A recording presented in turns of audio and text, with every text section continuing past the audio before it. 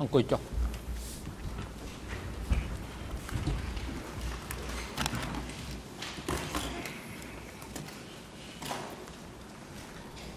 អង្គជំរាបការបន្តកិច្ចដំណើរការនីតិវិធីសម្ដែងការ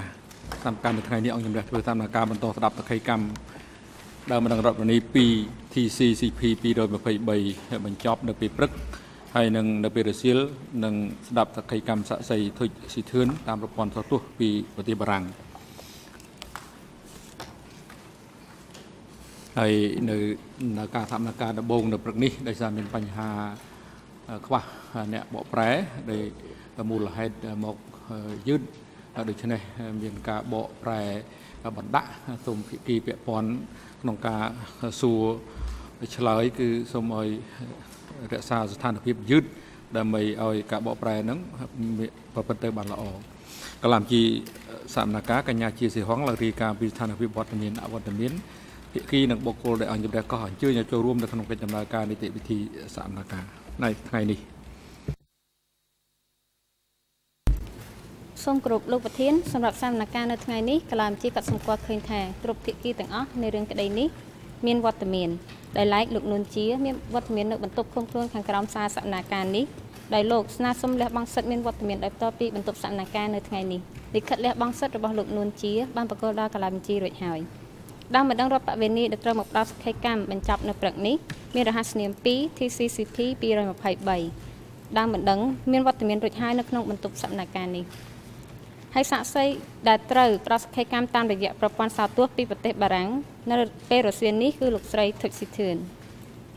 នៅថ្ងៃនេះមានសាក់សីបំរុងមួយរូបផងដែរដែលមានរហស្សនាម2 TCW 871សាក់សីបានបញ្ជាក់ថាតាមសមត្ថភាពដែលគាត់អាចដឹង គឺគាត់មិនមានទំនាក់ទំនងញាតលោហិតឬញាតពុនជាមួយនឹងជនជាប់ជាប់ជនជាប់ចោតទាំងពីររូបគឺលោកនួនជានិងលោកខៀវសំផនឬភាគីដើមបណ្ដឹងរដ្ឋបវេនីណាមួយដែលត្រូវបានទទួលស្គាល់នៅក្នុងរឿងក្តីនេះទេសាក់សីបានធ្វើសម្បត្តិរួចហើយនៅចំពោះមុខលោកតាដំបងដែកសូមអរគុណលោកប្រធានអរគុណកញ្ញាជាស៊ីហង ជាដំបូងនេះអង្គចម្រាស់សម្រាប់សំណើសុំរបស់ជនចាប់ចោតនួនជាជាមុនសិនអង្គចម្រាស់ទទួលលិខិតសុំលះបង់សិទ្ធចូលរួមសកម្មភាពដែលផ្ទាល់ក្នុងបន្ទប់សកម្មភាពនេះរបស់ជនជាប់ចោតនួនជាចុះថ្ងៃទី22ខែវិច្ឆិកាឆ្នាំ2016ដែលបានបញ្ជាក់ថាដោយគាត់មានបញ្ហាសុខភាពភីក្បាលជើងចង្កេះមិនអាចអង្គុយយូរបានមិនអាចផ្ចង់អារម្មណ៍បានយូរនឹងដែលមានលទ្ធភាពចូលរួមសកម្មភាពនាថ្ងៃខាងមុខឲ្យមានប្រសិទ្ធភាព រួមសូមលះបង់សិទ្ធិចូលរួមនឹងមានវត្តមានដោយផ្ទាល់ក្នុងបន្ទប់សកម្មភាពនៅថ្ងៃទី22ខែវិច្ឆិកាឆ្នាំ2016បានឃើញកំណត់ហេតុពិនិត្យសុខភាពខ្ញុំជាប់ចោតនួនជាដែលធ្វើឡើងដោយគ្រូពេទ្យប្រចាំការពិនិត្យព្យាបាលថែទាំសុខភាពជនជាប់ចោតនៅអវតកោចុះថ្ងៃទី22ខែវិច្ឆិកាឆ្នាំ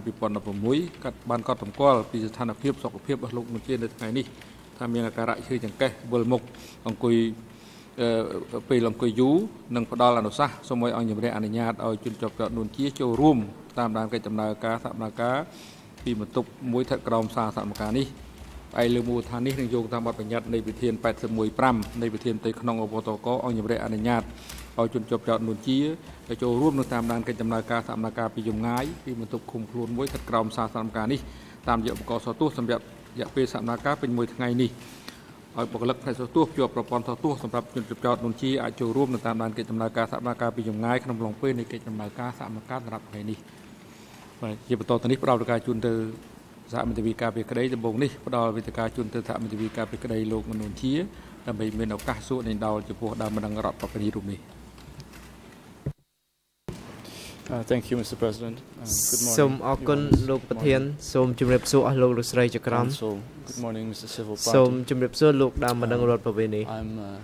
doing Noon Chia's International ខ្ញុំជាមេធាវីអន្តរជាតិការពារក្តីលោកនួនជាហើយព្រឹកនេះខ្ញុំនឹងធ្វើការសាកសួរលោកទៅលើបញ្ហាមួយចំនួន start by asking you some questions ជាដំបូងខ្ញុំសូមសួរលោកតេតើងទៅនឹងអ្វីដែលលោកបាននិយាយកាលពីម្សិលមិញ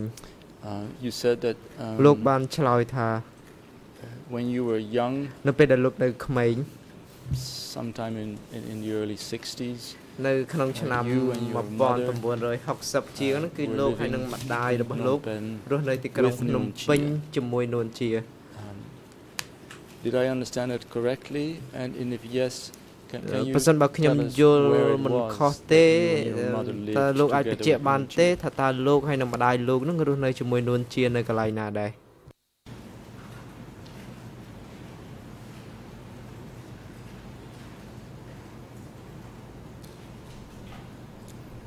បាទខ្ញុំមិនបានថារស់នៅជាមួយលោកនួនជាទេតែខ្ញុំថារស់នៅ ធ្វើការជាមួយលោកនួនជា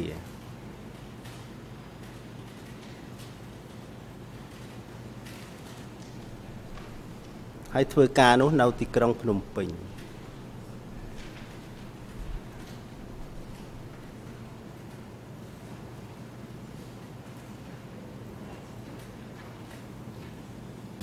Um, ប្រហែល translation ជាមាន yesterday. បញ្ហា Um, បក my ប្រែកាល notes, ពី there's ម្ no សិល draft មិញពិត transcript តាម yet. ដែល Mr. ខ្ញុំកត់ President. ត្រាទុកដោយសារតែមិនទាន់មានសេចក្តីព្រាងបតិចរិតនៅឡើយគឺម្សិលមិញបាន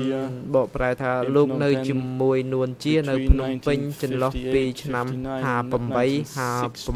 59និងឆ្នាំ Um, I believe you 1960 were born in 19. ខ្ញុំចាំថា so you លោក must have កើត been នៅ very ឆ្នាំ young. 1957អញ្ចឹងពេលនោះគឺលោកនៅក្មេងនៅក្មេងតូចនៅឡើ So យ just to be sure, y- អ you ញ្ចឹង didn't live ដើម្បី with បញ្ជាក់ឲ្យ Nuon បាន Chia ច្បាស់លោកមិន and ដែល your mother រ when ស់ you were នៅ very young, let's say ជាមួយនួនជា three or four or five years old. នៅពេលដែលលោកអាយុ3 4ឆ្នាំទេមែនទេ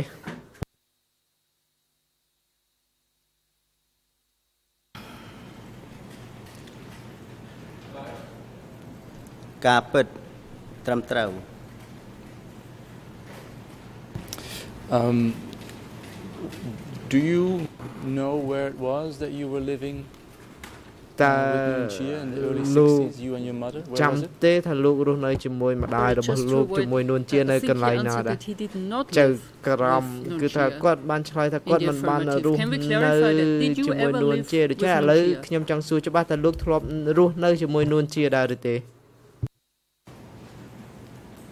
មិនបានធ្លាប់រស់នៅទេ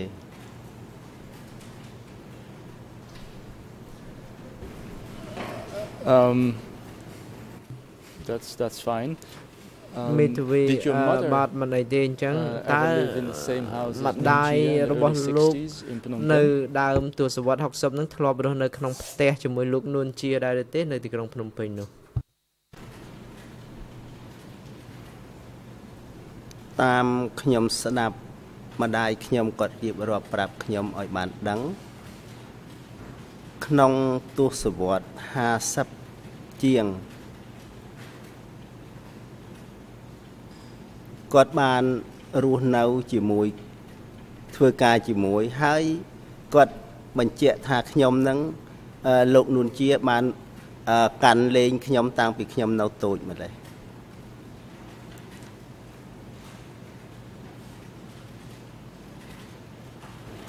I, s- I understand. Um, ខ្ញុំយល់លោក what was your mother's name? ប៉ុន្តែខ្ញុំចង់សួរថាម្ដាយរបស់លោកឈ្មោះអ្វីដែរ Alternatively, how did Nuon Chia? How did, ឬក៏ថា sorry? Uh, how សំ did ទោស Nuon Chia ឬ know ក៏ your ថា mother's? តើ What, what, នួនជាស្ with គាល់ what ម្ដាយ name did លោក Nuon Chia know ដោយ your mother? របៀបណាឬក៏សួរម្យ៉ាងទៀតថា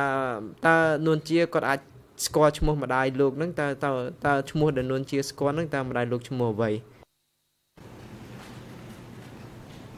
បាទខ្ញុំមិនបានដឹងថាលោកនួនជាស្គាល់ឈ្មោះម្ដាយខ្ញុំ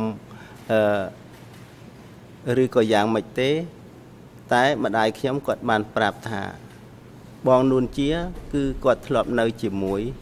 កាលពីទសវត្សរ៍ឆ្នាំ50ជាង Sorry for interrupting. ជា You ក្រុម didn't សំ answer ទោស the first ដែលខ្ញុំ part ត្រូវ of កាត់ the ប៉ុន្តែ question. លោកអត់ What's ទា your ន់បាន mother's name? ឆ្លើយនៅ ផ្នែកទី1ទេតើតើម្ដាយរបស់លោកឈ្មោះអ្វី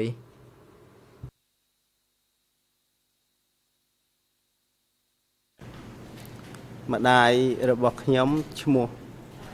ជុចសមុទ្រ Sorry, sorry.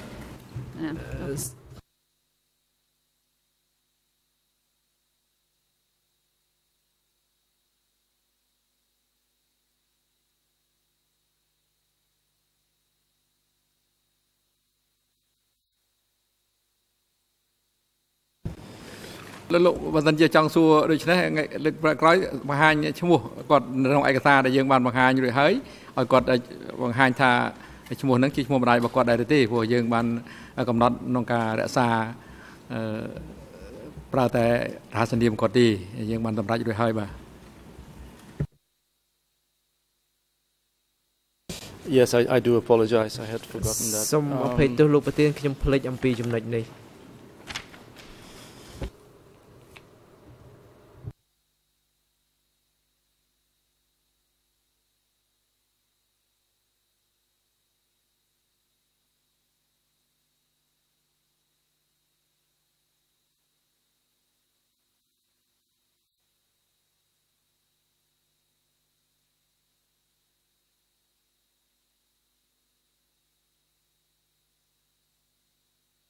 one, uh, one moment, please, uh, Mr. President. I'm trying សូ to ម find the សូម mother's name. ទោសលោកប្រធានខ្ញុំសូមពេលបន្តិចដើម្បីរកឈ្មោះម្ដាយរបស់គាត់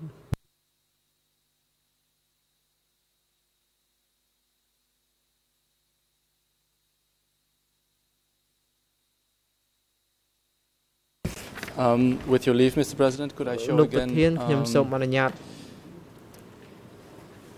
បង្ of ហាញ um, នៅ the civil party's ឈ្មោះ mother? I will រ be របស់ម្ដាយ referring ដើម to បណ្ដឹងរដ្ឋប្រវេណីគឺខ្ញុំយោងទៅលើឯកសារ E3/9477 អឺ3លើ English ERN,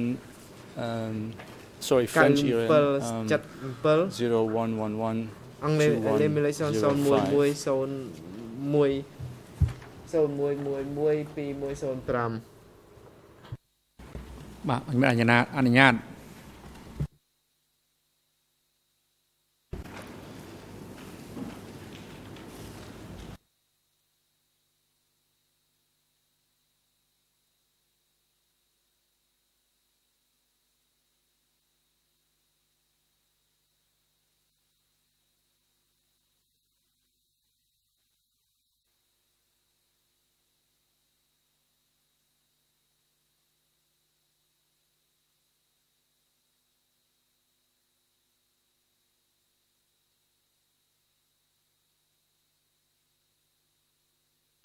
Um, Mr. Civil Party, please don't mention លោក um, ដើមបណ្ដឹងរដ្ឋប្រវេណី your mother's សូមលោក name កុំ uh, but បញ្ជាក់ឈ្មោះម្ដាយ The របស់លោក highlighted អ្វីគ្រាន់តែ part of ថា that, លោកមើលទៅលើ um, ផ្នែកដែលខ្ញុំគូសព document, ណ៌ is that indeed your mother's name? នៅលើឯកសារហ្នឹង Uh, តើ and is- is she still តើ alive? តើតើ Um, អ្វីដែលខ្ញុំគូសហ្នឹងតើជា today? ឈ្មោះរបស់ម្ដាយលោកមែនទេហើយតើម្ដាយលោកនៅរស់រានមានជីវិតដែរឬទេនៅពេលបច្ចុប្បន្ននេះបាទពិតជាត្រឹមត្រូវចំចំណុចដែលគូសហ្នឹង តែសប្តាហ៍ថ្ងៃម្ដាយខ្ញុំគាត់បានស្លាប់អឺ4 5ខែហ្នឹងរួចទៅហើយ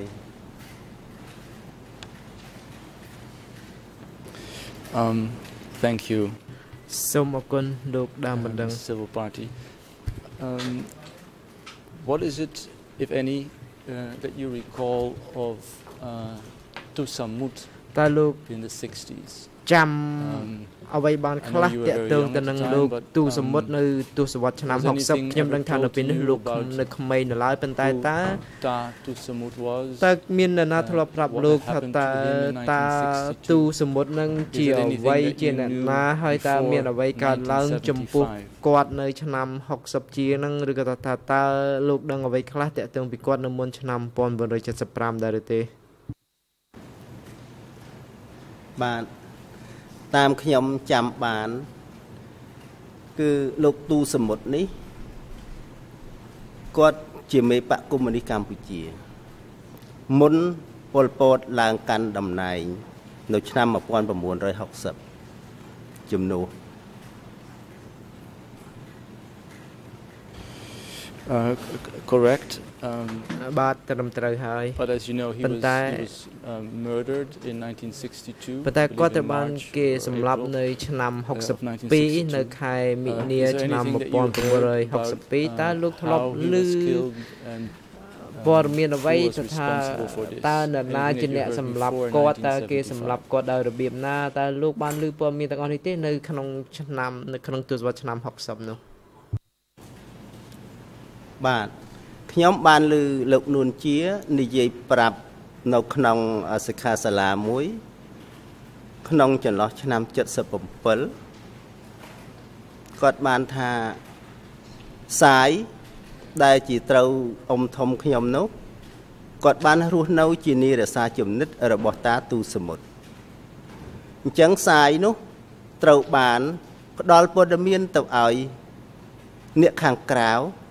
ដែលមិនពេញចិត្តនឹងតាទូសមុទ្រនោះត្រូវបានតាទូសមុទ្រចេញពីផ្ទះទៅធ្វើកិច្ចការងារមិនដឹងជាគាត់ធ្វើអ្វីទេត្រូវបាន បាត់ខ្លួនទៅពេលនោះទៅ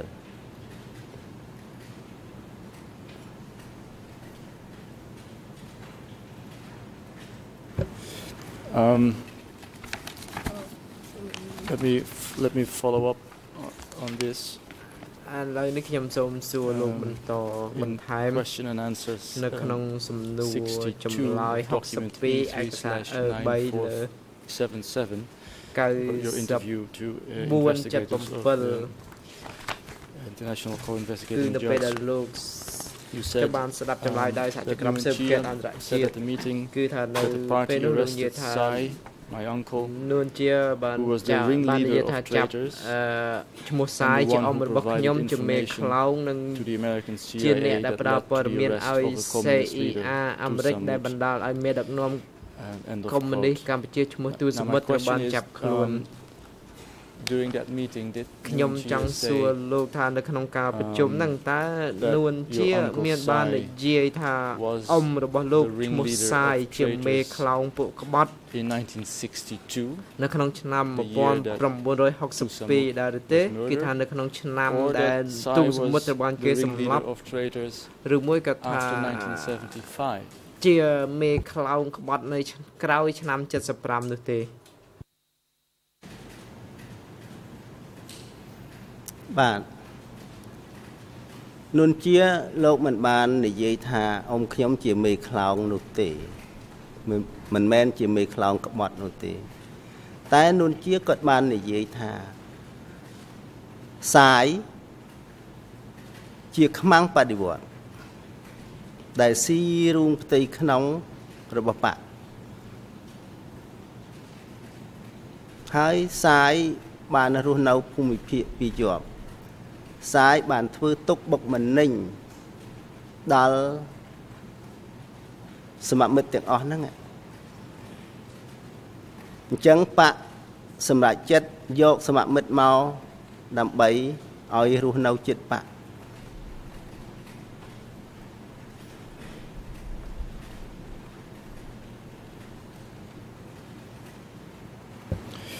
Um, I'm, I'm, l- let me ask again. ឥឡូវ um, ខ្ញុំសួរលោក ចេះវិញ during this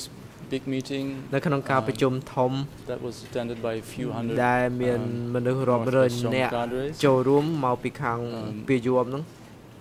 was Nguyen Chia speaking about តើនួនជា betrayal of the មាន revolution បាន in និ1962យាយអំពីការក្បត់បដិវត្តន៍ Sai នៅក្នុង or ឆ្នាំ betrayal of the revolution by Sai in 1962ដែរទេ1977ឬមួយក៏ or ថានិយាយអំពី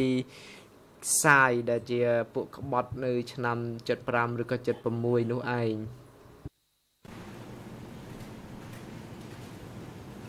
បាទនួនជាគាត់បាននិយាយថាសាយជានីរសាតាទូសមុទ្រគាត់បានផ្ដល់ព័ត៌មានទៅឲ្យអឺអ្នកខាងក្រៅចាប់តាទូសមុទ្រមិនបាននិយាយថាសាយជាមេខ្លោងក្បត់ នៅក្នុងឆ្នាំ1960ក្នុងចន្លោះឆ្នាំ60នោះទេ តានួនជាគាត់បាននិយាយថាឈ្មោះសាយនេះ ជាមេក្បត់នៅក្នុងឆ្នាំ1977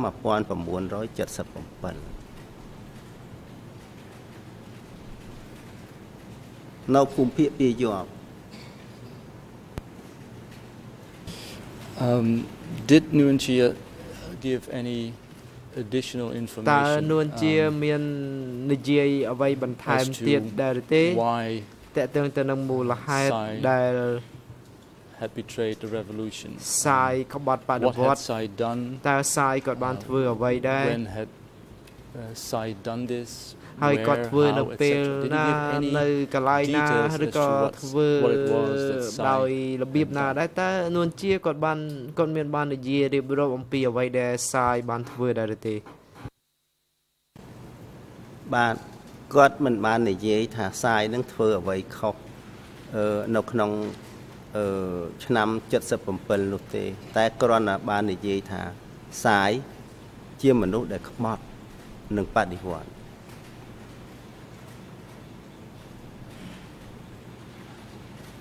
គាត់មិនបាននិយាយថាសាយធ្វើអញ្ចេះធ្វើអញ្ចោះខុសនោះទេអត់មានបាននិយាយអញ្ចឹងទេគាត់តែនិយាយថាសាយហ្នឹងជាមនុស្សក្បត់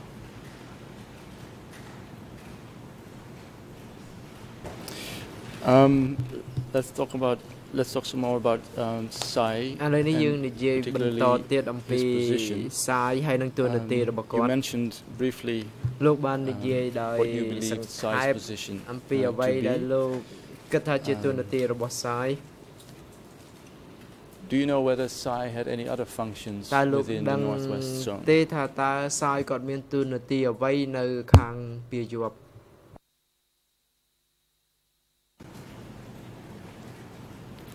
បាទតួនាទីមុនចាប់ខ្លួនអក្រោយចាប់ខ្លួន គឺគាត់នៅ ជាមន្ទីរភូមិភាគអឺគេហៅថាលេខ560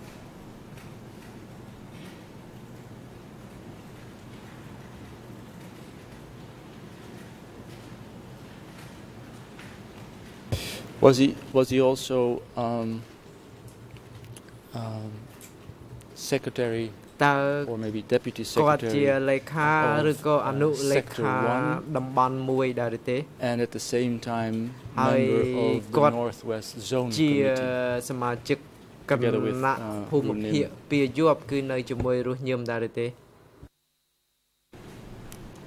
បាទត្រឹមត្រូវ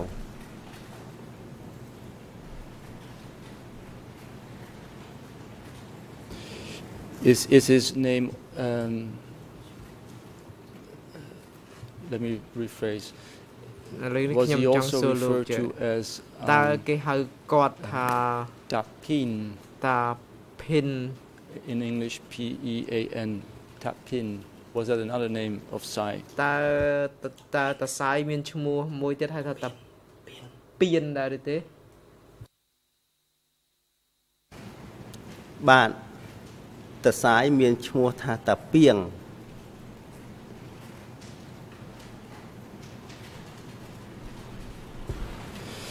Um, do you remember who uh, the other members were តើ of លោក the ចាំ Sector 1ថា committee? សមាជិកគណៈតំបន់មួយផ្សេងទៀតហ្នឹង Northwest Zone មានឈ្មោះអ្វីដែរទេនៅក្នុងភូមិភាគពាយ័ព្យនោះ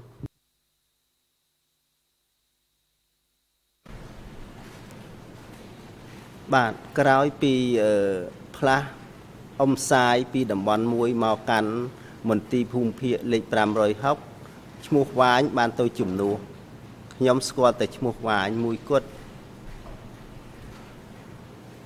ដែលនៅតំបន់ទី1នោះ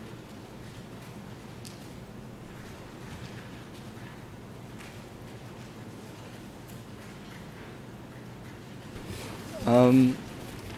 before I move uh, to another person មុន you mentioned, នឹង uh, San. បន្ត Let me ទៅ go មនុ briefly ស្សម្ back, នាក់ទៀតដែលលោកបាននិយាយ um, ឈ្មោះសាន់ហ្នឹងគឺ to, ខ្ញុំចង់សួរលោកបន្ The តិច 60s again. អំពីទសវត្សរ៍ឆ្នាំ60បន្ត Did your uncle Sai តើអ៊ំសាយរបស់លោក also work with another important former member of the, ធ្វើ the Communist ការ Party, ជាមួយសមាជិក Siu Heng? បក Siu Heng. កុម្មុយនីសដែលមានឈ្មោះល្បីម្នាក់ទៀតឈ្មោះស៊ូហេងដែរឬទេសៀវហេងដែរឬទេ Siu Heng. គឺស៊ីវហេងបាទខ្ញុំអត់បានដឹងថាគាត់ធ្វើការជាមួយលោកសៀវហេងដែរឬក៏យ៉ាងម៉េចខ្ញុំអត់បានដឹងទេ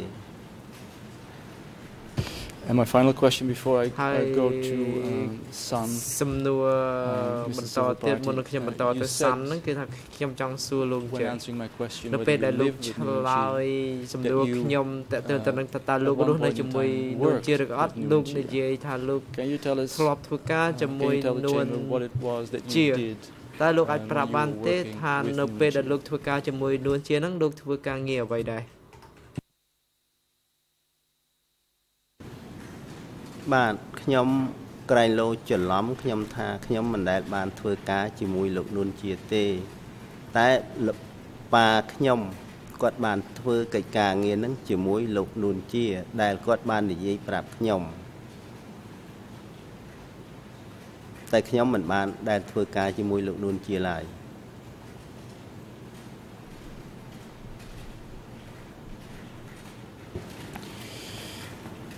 Um, very well, thank you. អឺ មិនអីទេអរ Um, គុណលោកដើមបណ្ដឹង Yesterday, កាលពី um, ម្សិលមិញ Mr. Civil Party, um, you spoke លោកបាននិយាយ about uh, Sun, អំពី the person who was ឈ្ in មោះ charge of Sun. Division 2. ដែលទទួលខុសត្រូវលើកង Um, ពល and លេខ Before I ask some more questions about Sun, can you tell us what the 2តើលោក relationship អាច was ប្រាប់ between បានទេថា your uncle, អ៊ំរបស់លោក um, Sai, គឺអ៊ំ and សាយ Division នឹង2ហើយ Commander នឹងមាន Sun? វិជាការ Were- សាន់ were they មានវិជាការកង Close ពលទី friends? 2 Were នឹង they មានតំ working ណែងតំ together? ណងអ្ What វី is it ដែរ that you recall about that? តើលោកចាំថាពួកគាត់ជាមិត្តភក្តិជិតស្និទ្ធឬក៏ជាអ្វីដែរមានតំណែងតំណងអ្វីជាមួយគ្នាបាទអ៊ំសាយជាមួយលោកសានកងពលទី2នោះគាត់មានការតំណាក់តំណង កិច្ចការងារប្រជុំនៅអឺមន្ទីរលេខ560នោះហើយឈ្មោះសាននោះគាត់បានមកអឺស្នាក់នៅដើម្បីធ្វើកិច្ចការងារនោះអឺនៅទីនោះដែរ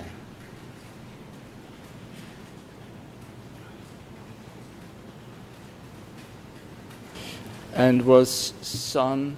arrested at the same time តើ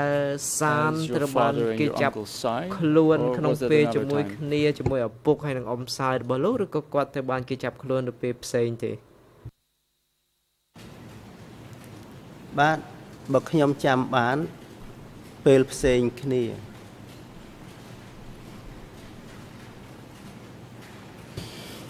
Um, let's talk more, some more about, about Sun ឥឡូវ and នេះយើង um, និយាយបន្ត two អំពី divisions. សាន់ដែលជា Um, មេវិជ្ជាការកងពល Mr. President, I would like អឺ to show លោកប្រធានខ្ញុំ um, សូម the អ civil នុញ្ញាត party បង្ហាញ the ដើម document បណ្ that ដឹង I've នៅ used ឯ before ក with សារ another ដែលខ្ញុំបាន witness ប្រើប្រាស់ is កាលពីដូចមុនគឺ E3 3លើ 1170. 1170 Um, it's an um, organogram គឺជា of the អង្គការលេខ Northwest Army. របស់កងទ័ពភូមិភាគពីរយប់ It is um, English ERN អង់គ្លេសមានលេខ0060 0060 2544 French បារាំងមានលេខ00544889 00544895 and Khmer និងខ្មែរមានលេខ00443016 And with your leave, I would like uh, to ខ្ញុំ show សូម that អនុញ្ញាតពីលោក to ប្រធាន the ដើម្បី civil បង្ party, ហាញនៅរច um, នា and ask him នៅអង្គ whether ការ he លេខ recognizes some names របស់កង in this document. ទ័ពភូមិភាគពីរយប់នេះដើម្បីសាកសួរគាត់បន្ថែម អញ្ចឹងអនុញ្ញាត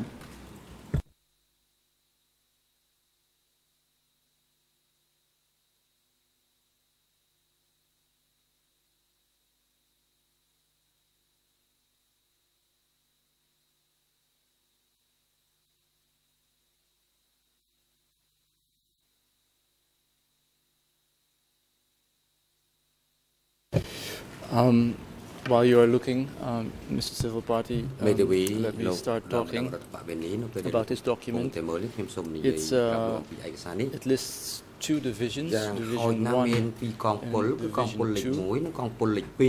Division 1 um, is being led here by Nong Norn Sarim alias Sam. Um, the deputy secretary is ហើយអនុលេខា um, កង New ពលឈ្មោះ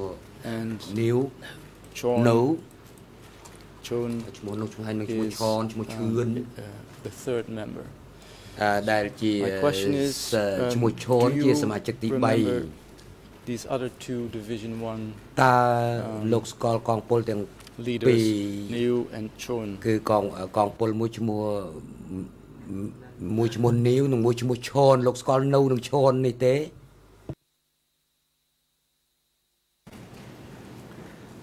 បាទគឺនៅ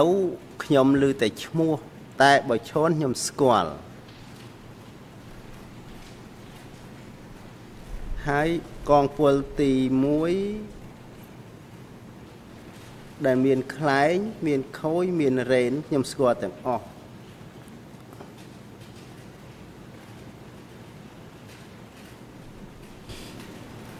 But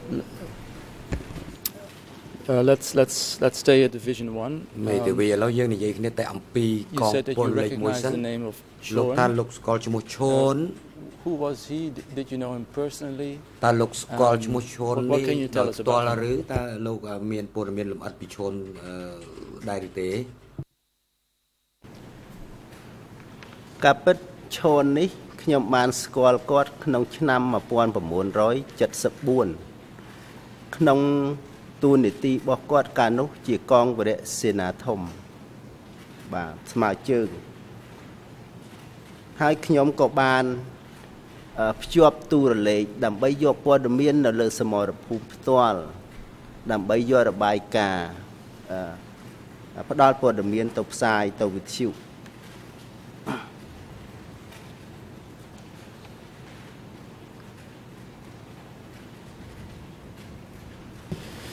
Um, do you know whether there was any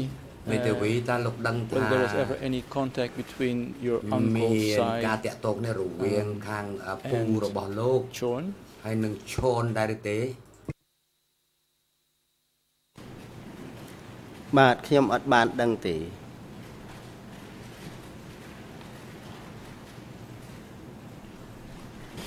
Do you recall how often you saw Wait, Chon wait. or how, how many times you had តើលោក contact នៅ with នឹក him ឃើញទេ in លោកបានឃើញ76ឈូន and ប្រមាណដង 77? ដែរឬក៏បានជួបឈូនប្រមាណដងដែរនៅក្នុងឆ្នាំ76និងឆ្នាំ77បាទឈននោះខ្ញុំអត់បានឃើញជួបគាត់ទេ ក្រោយរំដោះឆ្នាំ75មក76ខ្ញុំបានឃើញគាត់តែឆ្នាំ74តែម្ដងគត់ បាទសូមបញ្ជាក់ម្ដងទៀតមិនមែនឃើញតែម្ដងទេឈននោះគឺឃើញញឹកញាប់ក្នុងឆ្នាំឆ្នាំ74នោះគឺបានអឺធ្វើកិច្ចការងារសហការគ្នាជាប់ជាប្រចាំតែដល់រំដោះរួចឆ្នាំ75ខ្ញុំអត់ដែលបានជួបគាត់សូម្បីតែម្ដងក៏អត់ដែរ75 76នោះ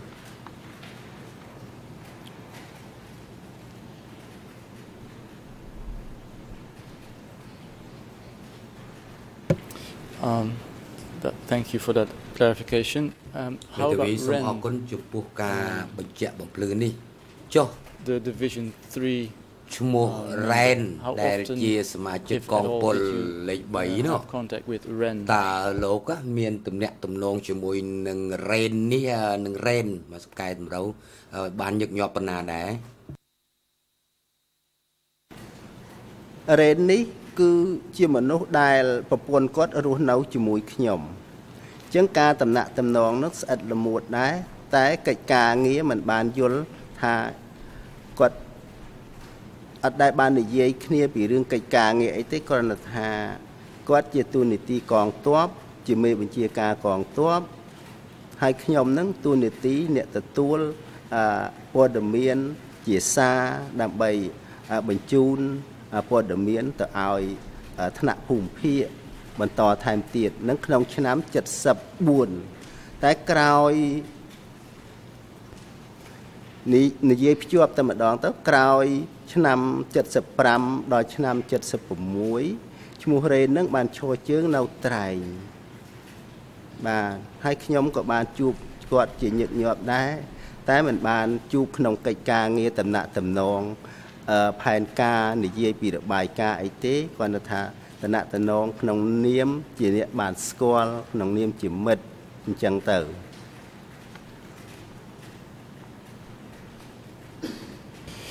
Uh, let me follow up on Treng. Uh, why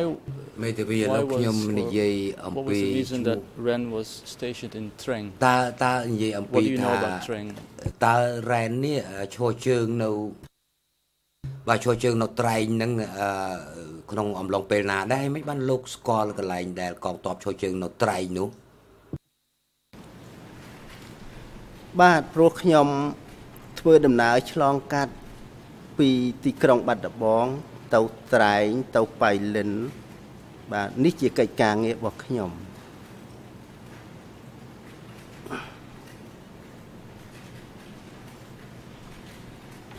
Uh, do you know whether that was a place where មេធាវីតើលោក Northwest Zone តើមាន cadres ស្គាល់កន្លែងមួយ and ដែល Northwest កម្មា Zone ភិ military បាល would ភូមិភាគ regularly ពាយ័ព្យ meet? និងកងទ័ពភូមិភាគពាយ័ព្យដែលជួបជុំគ្នាញឹកញាប់នោះលោកស្គាល់កន្លែងនោះដែរបាទខ្ញុំអត់បានស្គាល់ទេ Uh, do you know anything about a relationship មេ between ធាវីតើលោក um, ដឹងអំពីទំនាក់ទំ Chon នង of រវាង Division ឈន 1 and Ren of មក Division ពី 2? កងពលលេខ1និងរ៉េនពីកងពលលេខ2នេះដែរទេដឹងថាអ្នកទាំងពីរមានទំនាក់ទំនងនឹងគ្នាទេ បាទខ្ញុំអត់ដឹងទេ Um, and then one other question about um, មេធាវីសំណួរមួយ Uh, high ទៀត ranking military person ពី កងទ័ព within the មាន Northwest បុន Zone. ស័កខ្ពង់ uh, ខ្ពស់នៅ do you ក្នុងពាក្យពាយោ recall នោះ someone with the name Hum? តើលោកតាហាំស្គាល់ឈ្មោះតាហាំដែរទេ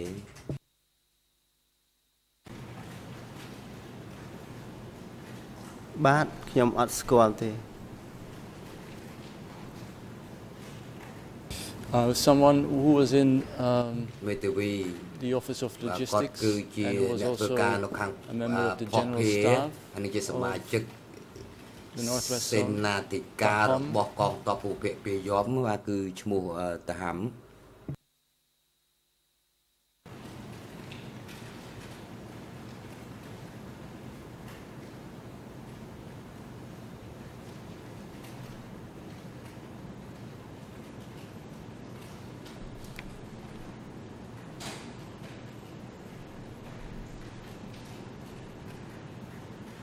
Did, uh,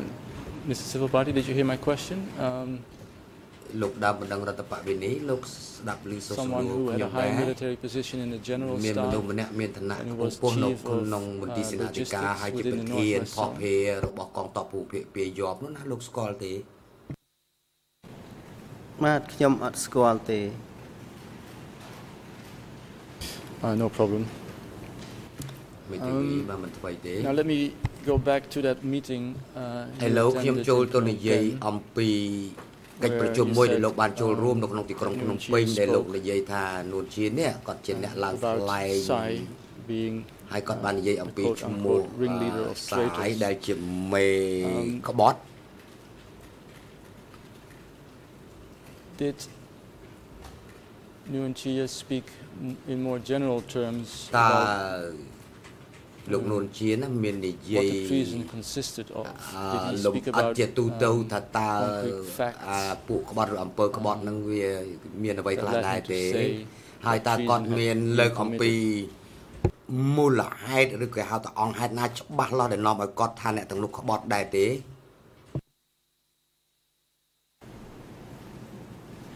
បាទគ្មានអង្គហេតុណា ច្បាស់លាស់ទេ ក្នុងការចោទប្រកាន់ថា ក្បត់នោះ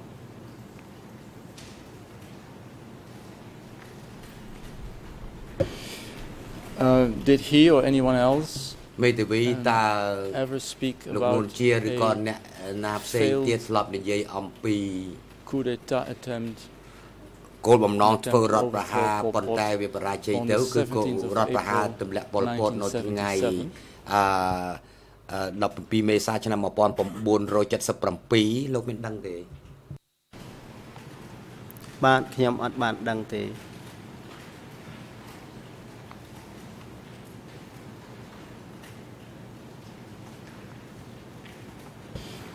Have you ever heard of មេធាវីចុះ Coup តើ d'etat attempts លោកធ្លាប់ឮអំពី an attempt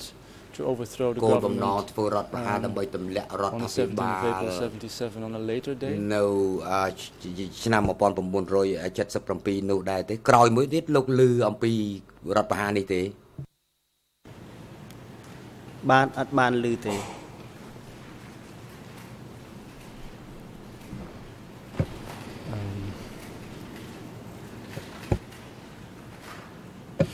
Did um, មេ Nguyen ធា Chia វី mention តើ other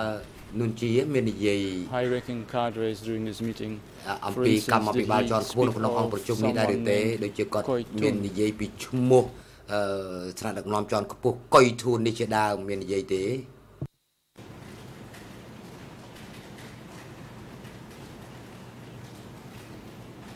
បាទដូចជាអត់បានចាំបានទេ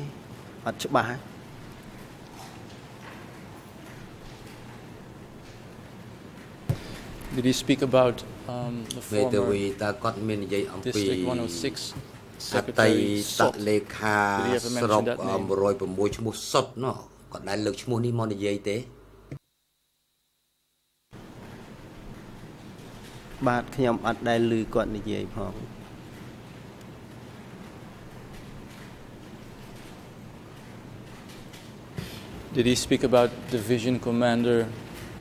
មេតាវីគាត់ Commander មាន of និយាយ Division 310. ពីអឺមាននិយាយពីឈ្មោះមេកងពល310ឈ្មោះអឿននោះដែរឬទេ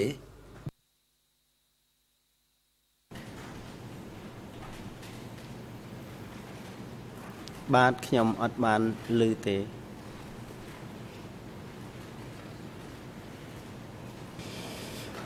Um, would it be correct if I say that the only Made name that you away. now remember តើត្រឹមត្រូវដែរឬទេដែលថា That was ឈ្មោះ mentioned. ដែលលោកអឺអាចនៅចាំបា during ន that meeting was ដែល your បានលើក great មកនិ uncle, យាយនៅ your ឈ្ uncle មោះ Sai? អឺលោកដែលដែលលើកមកនិយាយនៅក្នុងអង្គប្រជុំនោះគឺលោកចាំតែឈ្មោះពូរបស់លោកឈ្មោះសាយនេះតែម្នាក់គត់មែនទេ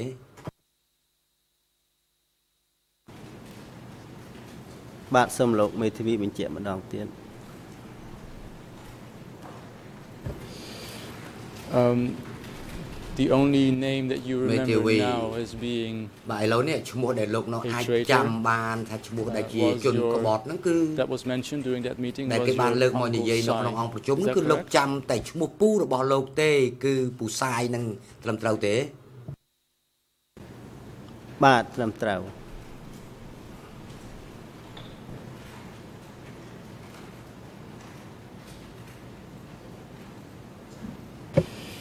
Um,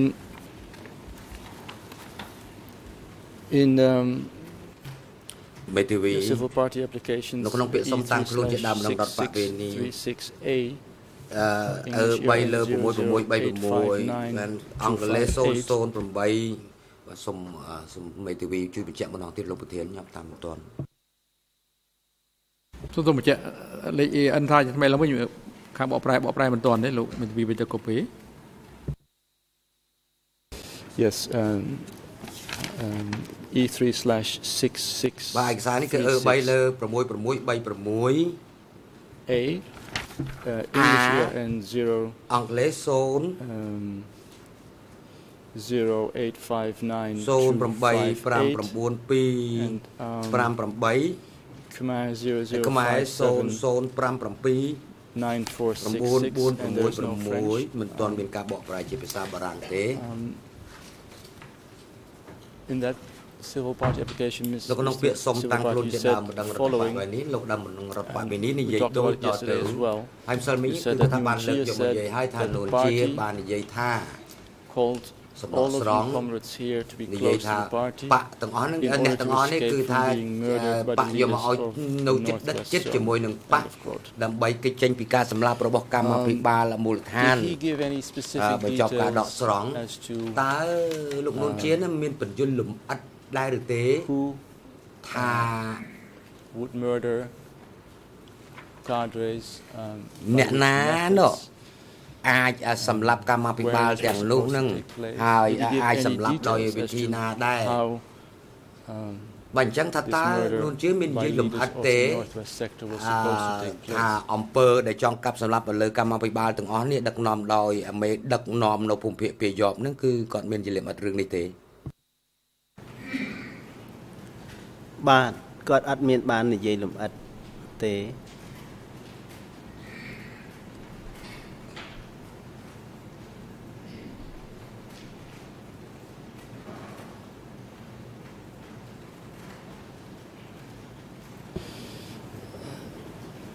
Are, are you able to give any មេធាវីតើលោកអាចជំរាបជូន other តឡា specific ការ details អំពីព័ត៌មានលំអិត to ណា what ផ្សេង treatment ទៀត it might have consisted of, other ថា than តើ the, stuff, the things that you already said? ការៅ Sorry ពី for that word. អ្វីដែលលោកបានលើ Can ក you ឡើង give us any យកមក more និយាយហើយ details នេះ that you remember, or is, តើ or is លោក this អាចបញ្ជាក់បានទេ or វា you told មាន us all that you remember? ធាតអីខ្លះទៀតដែរដែលនាំឲ្យមានការលើកឡើងចោតប្រកាន់ថាមានអំពើក្បត់ហ្នឹងអញ្ចឹងអំពើក្បត់នេះវាមានសកម្មភាពអ្វីខ្លះដែរ បាទខ្ញុំសូមឆ្លើយណាមានឱកាសល្អណាស់ដែលខ្ញុំចង់និយាយនៅថ្ងៃនេះខ្ញុំបានដឹងយ៉ាងច្បាស់នៅពេលនេះខ្ញុំនឹងសូមជម្រាបជូនអង្គតុលាការឲ្យបានដឹង អំពីអ្វីដែលខ្ញុំបានដឹងគោលនយោបាយនិងមាគារបស់បកកុម្មុយនីសកម្ពុជា ដែលខ្ញុំបានទទួល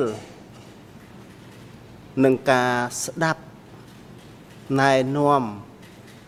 គឺរបបកម្ពុជាប្រជាធិបតេយ្យនេះគេបាននិយាយយ៉ាងច្បាស់ហើយនិយាយជាសាធារណៈ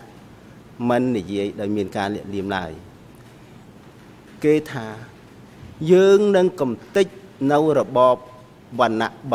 3ធំធំវណ្ណៈសក្តិភូមិវណ្ណៈនាយទុននិងវណ្ណៈអនុធន បកគមនីកម្ពុជាយើងលើកស្ទួយវណ្ណៈ2គឺកម្មករកសិករតែនេះជាពាក្យសម្ដីនិយាយយើងមើលឃើញសកម្មភាពក្រោយ ថ្ងៃរំដោះ7មករាគេត្រូវបានកំទេចនិងសម្លាប់ចោល មនុស្សណាដែលគេចាត់ទុកថាជាខ្មាំងបដិវត្តបន្តបន្ទាប់មកទៀត ដល់ថ្ងៃ10អឺយើងមើលមនុស្សដែល គេចាត់ទុកថាជាមនុស្សរបស់គេ ពីថ្ងៃ18មិនិនាមកគេសម្លាប់មនុស្សនោះតទៀតអញ្ចឹងពីថ្ងៃ18មកគេត្រូវសម្លាប់មនុស្សដែលមានការចូលរួមក្នុងចលនាតស៊ូបដិវត្តកុម្មុយនីសនោះថែមទៀតលទ្ធផលចុងក្រោយ របបកុម្មុយនីស មួយនេះ បានត្រូវរលាយខ្លួនឯងទាំងស្រុងបាទខ្ញុំនិយាយបានប៉ុណ្ណឹង Um, I will try it differently. Um, um, មេ Mr. ធាវី Sivapati, see if I លោក can ដើមនឹងរដ្ឋបវេ maybe នីខ្ញុំ somehow get ព្យា some យាម details. សួរតាមរបៀបផ្សេងវិញ Um, did you know at ដើម្បី the ទទួលបាន time ព័ត៌មានលម្អិត who ខ្លះ the តើ head នៅ of ពេលនោះ the hospital លោក in ដឹងថាអ្នកណា Battambang ជាប្រធានមន្ទីរពេទ្យនៅបាត់ដំបងនោះដែរឬទេ 75, 76, 77. តើអ្នកអ្នកដែលទៅធ្វើទីប្រធានមន្ទីរពេទ្យនៅបាត់ដំបងពីឆ្នាំ75 76 77នោះជាអ្នកណា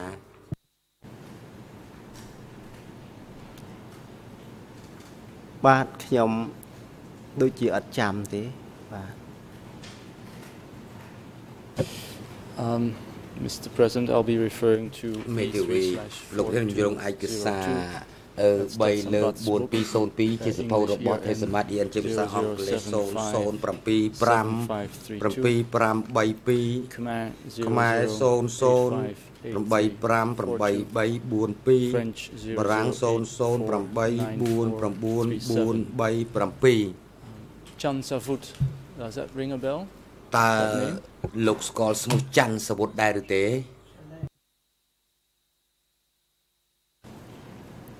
បាទខ្ញុំអត់ស្គាល់ទេ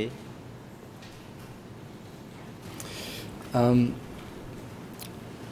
I will be reading from a brief មេ summary ធា of វី a much ខ្ញុំ longer អឺ interview នឹងអាន uh, he gave ព័ត៌មានស to ង្ខេបពីកិច្ចសម្ភាសន៍ដែលគាត់បានផ្ដល់ទៅ Detsambat ក្រុម and ថត Robert Lemkin. ភាពយន្តឯកសារភាពយន្ត Uh, គឺទេសបាត unfortunately, និង only លឹម the គិន um, uh, summary is ក៏ on the ប៉ុន្តែ case file. នៅសេចក្តីសង្ខេបនេះគឺថាមាននៅក្នុងសំណុំ This is what ដាក់ចូលក្នុង we សំណុំ can រឿង read ហើយ in Detsambat's book បើ about យើង Chan ក៏អាច Savut. អានចេញពីសភៅ It របស់ says ទេ the សបាត following. ពីឈ្មោះច័ន្ទសវុតនេះបានដែរគាត់បានសរសេរដូចតទៅ And let me not read it entirely, but let's break it up ខ្ញុំមិន in- អាន in- ទាំងស្រុង in ទេ excerpts. Chan ខ្ញុំសូម Savut, អានសម្រងខ្លីតែប៉ុណ្ណោះ head of the hospital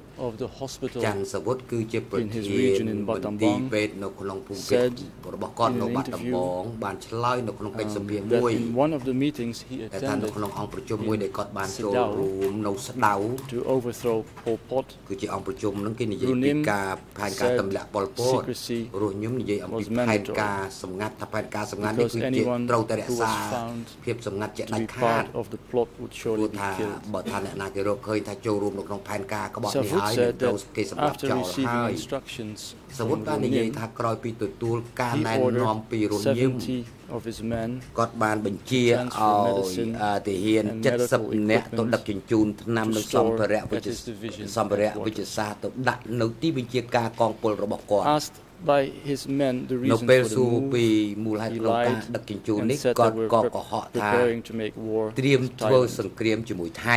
Rice was also kept in rice ពួកគេបានរ mills ក្សាទុកអង្ករ gasoline នៅតាម was hidden រោងម៉ាស៊ីននិង throughout បាន Battambang លាក់ទុកប្រេងសាំង and នៅតាម Banteay តំបន់ជា Menchie ច្រើន province ក្នុងខេត្តបាត់ដំបងនិងបន្ទាយមានជ័យ They planned to ពួក destroy គេមានផែន bridges ការបំផ្លាញស្ពា across ន the Sangki ឆ្លង River ស្ទឹង in សង្កែ Battambang ក្នុងខេត្តបាត់ដំប to ង control the west ដើម្បី side គ្រប់គ្រងប៉ែកខាងលិចស្ទឹ where ង they had stored ដែលនៅ equipment ទីនោះមានការស្តុក and other ទុកសម្ភារៈ materials. ស្បៀងនិងបរិក្ខារផ្សេងផ្សេង This ទៀត plan was very big and important. នេះ and គឺ if ជា we ផែន won, ការដ៏ធំ things would be និង good សំខាន់ again, មួយ Safud ប្រសិន said. បើទទួលបានជ័យជំនះអ្វី We អ្វី were សពយ៉ាង encouraged នឹង because some មានភាព Centre ល្អឡើងវិញ members from Phnom ពួកយើង Penh, ទទួលបានការលើក like ទឹក Warren ចិត្ត Vet, supported ឲ្យ this plot. អា And we had មានការចូលរួមអ sought នុវត្តផែនការនេះ in ព្រោះ Eastern សមាជិក Zone. មួយចំនួននៅមជ្ឈិមមកពីភ្នំពេញ And of the ដូចជា first Warren Wade និងសោភើមនៅពំភាកអឺបូព៌ា ក៏គ្រប់គ្រងផែនការនេះដែរ There are many more បញ្ចប់ details ការដកស្រង់ uh, in his in his interview. អា uh, តាម Mr. ការពិតនៅក្នុង Savubarti, កិច្ច but, សម្ភារនេះមាន uh, ភាព the details ច្រើន that ណាស់ I read out to you now is that something តើព័ត៌មានលម្អិតដែលខ្ញុំ that អាន you ចេញពី ever, សម្រងមួយនេះ uh, ever heard of? I- Are there any តើលោកធ្លាប់ឮអំពីព័ត៌មាន uh, is there has there ever been any talk ស្ដី about ពីផែនការ plans ក្បត់នេះដែរឬ to ទេ um, ឬ destroy ក៏ថា bridges, for instance, តើ across មាន the អ្នក Sangki ណា River in ម្នាក់ Battambang? ដែលធ្លាប់និយាយអំពីផែនការកំទេចស្ពានសង្កែចោលណាគឺស្ពានសង្កែនៅអឺក្នុងទីរួមខេត្តបាត់ដំបងនោះលោកធ្លាប់ដែលឮទេបាទខ្ញុំអត់ដែលឮដោយលោកមេធាវីរាប់រៀប អំបញ្ញមិញនេះអត់ដែលឮទេ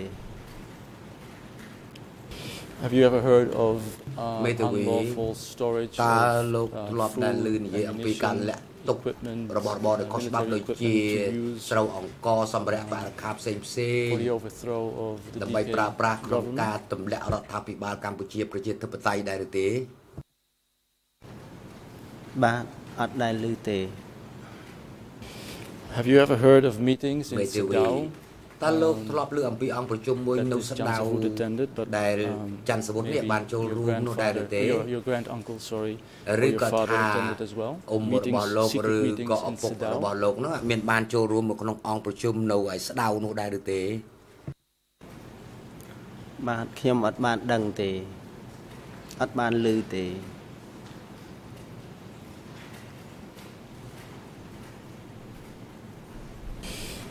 Um,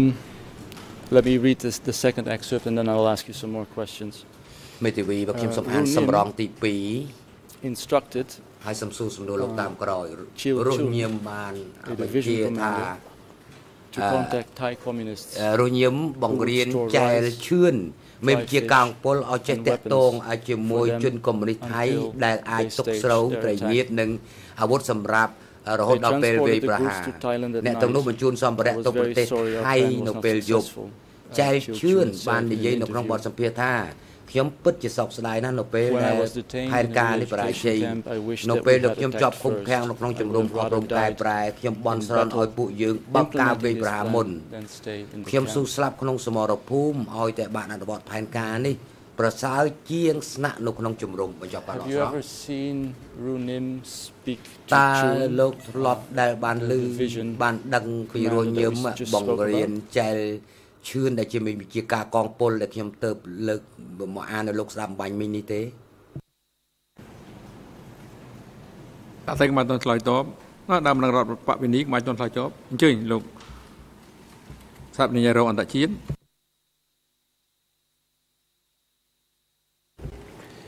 I, I- I think council is trying to Sa- lead Prenya the, the Rong. civil party ខ្ញុំ into អឺយល់ឃើញថាមេ a ធាវីការ conclusion ពារ or ក្តី a កំពុង theory យាម that សួរ the នាំមុខ defense has, which is Dam- not dam- supported by any dam- evidence. The ដោយមិនមាន person who's ខុសតាមអ្វី identified គ្រប់ in this គ្រង book, បន្ថែម uh, ទៀតទេ is មនុស្សដែលគេ Chil បានចូលមកសរ Chun. សេរមកក្នុងសភៅនេះ um, this ឈ្មោះ is ចែ someone ល who ឈឿ testified ន in court គឺ uh, ថាគាត់ and បាន the មកដល់ person សកម្ម who's កម្ម in ចំពោះមុខ the, តុលាការយើងម្ដងហើយ uh, who was in the org, org chart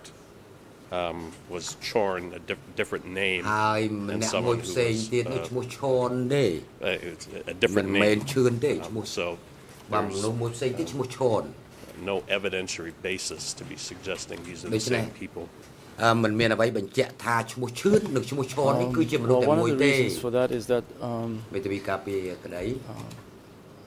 trial chamber has decided គឺ to ថាអង្គជំ um, នុំជម្រះ withhold ហ្នឹងគឺថា the បាន original សម្រេច interview ហើយគឺ because from that original interview of ថា Chancellor Foot it would be នៅកិច្ច crystal សម្ភា clear រដើម that របស់អាចារ្យ speaks សវុត about នេះគាត់ Chun បាននិ and យាយឲ្យ Ren, ឈ្មោះ the ឈឿ two ន respective division 1 and 2 Ah, commanders ជាមេបញ្ជាការកងពលលេខ1និងម្នាក់ទៀតជាមេ in បញ្ជា terms ការ of កងពល no លេខ evidence um, 2ពាក់ព័ន្ធទៅ for នឹងការលើក the ឡើង uh, ធម្ម 17 នា April ខុសតាម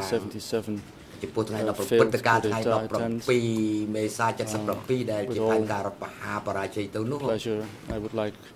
to refer for instance គឺ to ថាខ្ញុំសូមយកទៅលើឯកសារ E3 លើ7 3 3 English ERN យានជាភាសាអង់គ្លេស01 002239 That's uh, English only. That's a book គឺថាមាន EN តែជាភាសាអឺ EN ជា Burglar ជាអង់គ្លេសតែប៉ុណ្ណោះគឺសភៅរបស់លោក and this is what he says Burglar according នេះ to អ្វីដែល Jack គាត់ Win បានសរសេរ KR defector យោង planning ទៅ for a តាម coup ឈូករិន had ដែលជា begun in ខ្មែរក្រហមចុះ February ចូលខ្លួននោះគឺថានៅថ្ងៃ76 17 when មេសា SOT the commander of sector 106នៅពេលដែលសុខ Siem Reap មេបញ្ជាការ called a កងពល clandestine meeting 106បា in នកោះ Siem ហៅ Reap ប្រជុំ Town សម្ងាត់នៅក្នុង to ទីក្រុង discuss សៀមរាប creating rebellion ដើម្បី that would allow រៀបចំ people ផែនការ to បោ go ះប back ោ and work as they did before អាក្រោយមកក៏ឲ្យអ្នកទាំងនោះត្រឡប់ទៅធ្វើការនៅ This កន្លែង rebellion តាម was ធម្មតា planned for បើ the សិនណាជាយើង 17th of April រឹបអូសបានទីក្រុងភ្នំពេញ1977 នេះគឺផែនការធ្វើរដ្ឋប្រហារមួយនៅ Same thing is, ថ្ងៃ17មេសា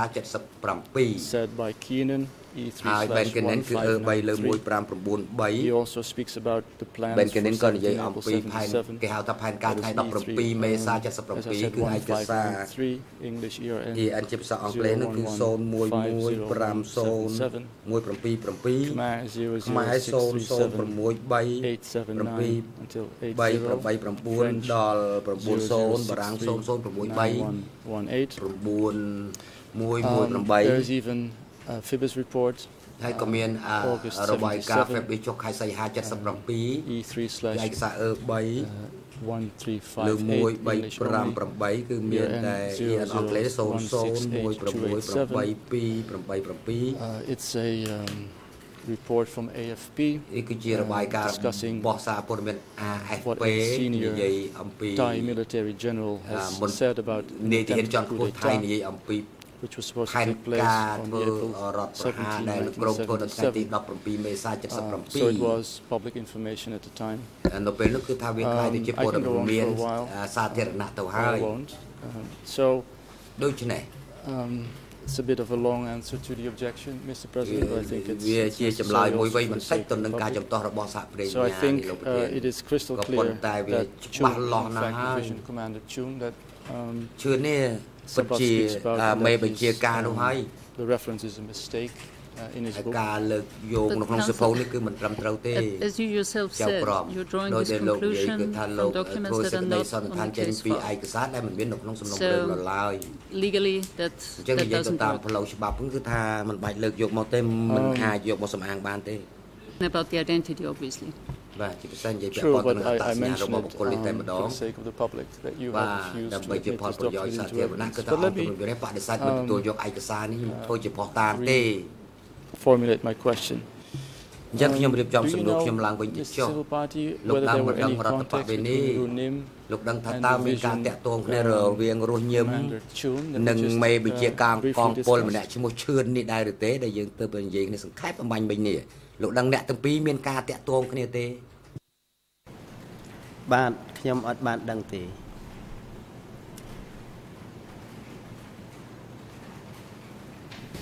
Are you aware of any involvement តើលោកបាន of, ដឹងអំពីការ um, ចូលរួមណាមួយ rebels in Thailand or អំពីការបះបោរនៅថៃ uh, assistance of ឬក៏ការជួយណាមួយ Thai military មកពីខាងយោធាថៃដែរឬទេ within the northwest zone? គឺការជួយពីខាង Are you ថៃ aware of មកខាង any ភូមិភាគ storage ពាយប់ដែរឬទេ weapons ហើយ or ឬក៏ថាតើ ammunition លោក in Thailand? ដឹងអំពីការស្តុកទុកនៅអាវុធគ្រាប់រំសេវនៅថៃដែរឬទេបាទខ្ញុំអត់បានដឹងទេ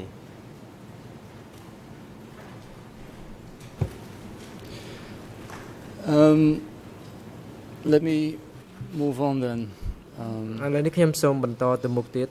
Mr. Civil Party, by asking you a follow-up ខ្ញុំនឹង question សួរនៅសំណួរបន្ as to ត what you said, តាក់ទងទៅនឹងអ្វីដែលលោក um, បាននិយាយ yourself about being accused ដែលថាខ្លួនលោកផ្ទាល់ទៅបានគេចោទប្រកាន់នៅ question and answer 17, សំណួរចម្លើយទី um, 17 of your នៅ WRI, ក្នុងកំណត់ហេតុស្ដាប់ចម្លើយរបស់លោក you said I worked in office លោកនិយាយថា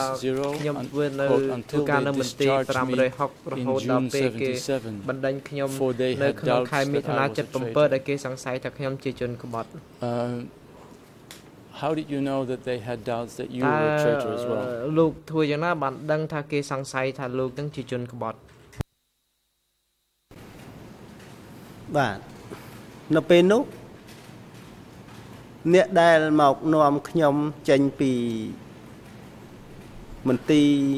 លេខ560នោះពេលនោះគេប្រាប់ខ្ញុំថាខ្ញុំជាមនុស្សដែលក្បត់នឹងបដិវត្ត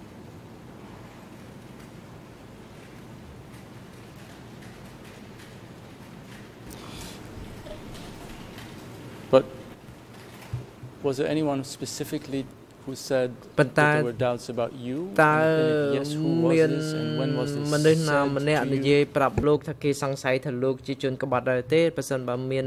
ដូច្នេះមែនតើម្នាក់នោះជាអ្នកណាដែរ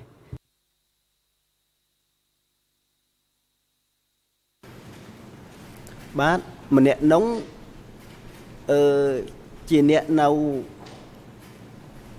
កន្លែងអឺសេនាធិការខាងអឺកងពលកងពលទីប្រមាណទេខ្ញុំចាំបាន តែអ្នកនោះគឺនៅកន្លែងសេនាធិការអឺសប្តាហ៍ថ្ងៃនេះ ទីតាំងនោះគឺនៅអឺក្បាលស្ពាស្ពានថ្មអឺក្រោមមិនមែនអាស្ពានថ្មទល់មុខសាលាខេត្តទេអឺកន្លែងនោះគឺ ចម្ងាយពីក្បាលស្ពានទៅខាងត្រៃខាងលិចចម្ងាយប្រហែលជាខ្ញុំនិយាយមិនច្រឡំទេ50ម៉ែត្រឬក៏អឺជិត100ម៉ែត្រប៉ុណ្ណោះកន្លែងនោះនៅនៅនៅនៅពីខាងអឺអឺស្ដាំដៃទៅពីខាងកើតទៅ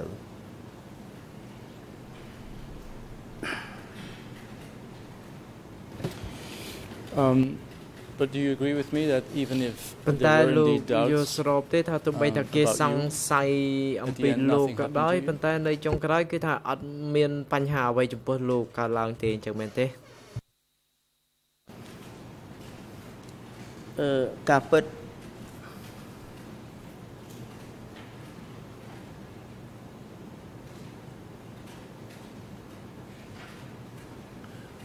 គេ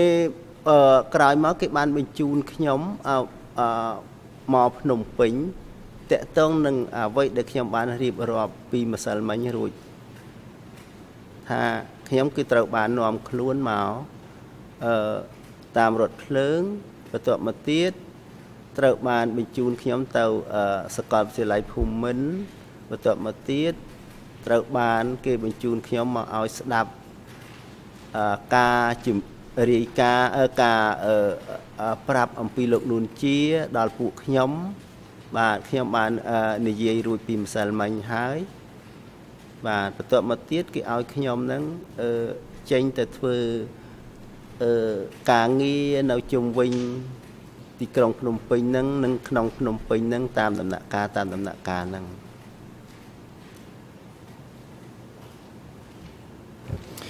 Um, Mr. President before I move to my last subject ប្រធានមុនពេលដែលខ្ញុំបន្តទៅប្រធានបទថ្មីមួយខ្ញុំគិតថាប្រហែលជាយើងអាចដល់ពេលហើយប៉ុន្តែយ៉ាងណាក៏ដោយខ្ញុំចង់ជម្រាបផងអំពីឯកសារ E29/1 um, in this អឺ document 29/489/1ឯកសារ filmmaker នេះ Robert Lemkin គឺជាឯ who កសារ informs the រ chamber បផលិត that ករ Chiu របស់ Chun Lem was not the គិន right ដែលបាន name បញ្ជាក់ថា uh, in ចៅ that ឈឿនមិនមែនជាឈ្មោះ So it ត្រឹ is ម on ត្រូវ the ទេ case នៅក្នុងសភៅ file, នេះ uh, ហើយ that ខ្ញុំ there គិតថា is ឯកសារនេះវាមាននៅក្នុងសំណុំរឿង about រួចទៅ that ហើយ name. ខ្ញុំគិតថានេះជា So ការ I យល់ would ច្រឡំ like to អំពី have ឈ្ said មោះ that for the record. ហើយខ្ញុំសូមបញ្ជាក់ My នេះ next ដើម្បីជា subject, កំណត់ uh, ត្រា would be, បតិចរិត uh, ប្រធានបတ်21បន្ត but, uh, របស់ខ្ញុំគឺនិយាយអំពី ព្រៃសហើយនិងស21ខ្ញុំគិតថាប្រសិនបើអង្គជំនុំជម្រះអនុញ្ញាតខ្ញុំ Maître សូម Copé. សម្រាប់ Nous venons bien d'entendre ce que vous venez de dire à propos de លោក Robert មេធាវី Lemkin. កូពេយើងបានស្ដាប់ Mais នៅ pour អ្វីដែល autant លោក que និ je យាយអំ sache, ពី sauf រ៉ូបឺត erreur de ឡំ ma ខិន part, ហើយអ្ il វីដែល ne ខ្ញុំ dit pas quelle est ou quelle serait l'identité Dans de le cas- Chin Chon. វាមិនអាចដឹងអ្នកណាអត្តសញ្ញាណរបស់ជាឈឿននឹងជាអ្នកណាច្បាស់នោះទេ Well, as I've tried to explain បាទ um, ដូចដែលខ្ញុំបានព្យាយាមបញ្យល់រួចមក in, ហើយអញ្ចឹង um, during the testimony of an earlier Northwestern នៅ witness, ពេលដែល um, សាក់សីខាងពីជាប់មកប the ដោស uh, ក្ខីកម្មដំ English បងដំបង co-author of Ted គឺអ្នក Sambat, និព who ន្ធ has no knowledge uh, of ជា herself ភា or សាអ any ង់គ្លេស events in ជាមួយនឹង Northwest ថេសម្បត្តិ Samat, គឺគាត់មិនបានដឹង uh, អំពី mistakenly refers ចំណុច to uh, ភូមិ Chun as ភាគ Chilchu, but ពីយ um, ប់នេះទេ from ដោយ the សារគាត់ context និ and យាយខុសតែទៅ most ទៅឈ្មោះឈឿ importantly ននឹង from ប៉ុ the ន្តែ total um, អ្វីដែលសំ content ខាន់ of គឺថា John Savut's ទៅលើ interview, ខ្លឹម it is សារ crystal នៃ clear ការសម្ភាសរបស់ that, ចាន់ uh, សវិតគឺ Chun បញ្ជាក់ is ច្បាស់ the ណាស់ថា division, ឈឿន uh, គឺជាមេ one បញ្ជាការ commander. កងពលមរុ And as I said, uh, you're deliberately ហើយដូចដែល withholding ខ្ញុំ that បាន evidence, បញ្ជាក់ um, រួចមកហើយ which គឺ is ថា a អង្គជំនុំ disgrace, ជម្រះបាន um, if I might add again, អឺ um, ហាម Judge ឃាត់ Levin. ដោយចេត But នា that's នៅ how it ឯ is. កសារផតាមួយនេះ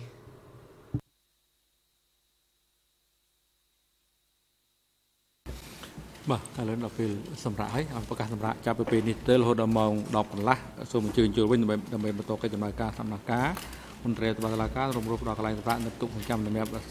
សាកថៃដល់ដើមម្ដងរដ្ឋបព្វនីរូបនេះនៅក្នុងឡងពេលជួយសម្រាប់នឹងឲ្យអញ្ជើញគាត់មកកាន់កន្លែងផ្ដល់ថៃកម្មក្នុងបន្ទប់សកម្មការនេះវិញនៅវេលាម៉ោង10កន្លះសម្រាប់ចុះ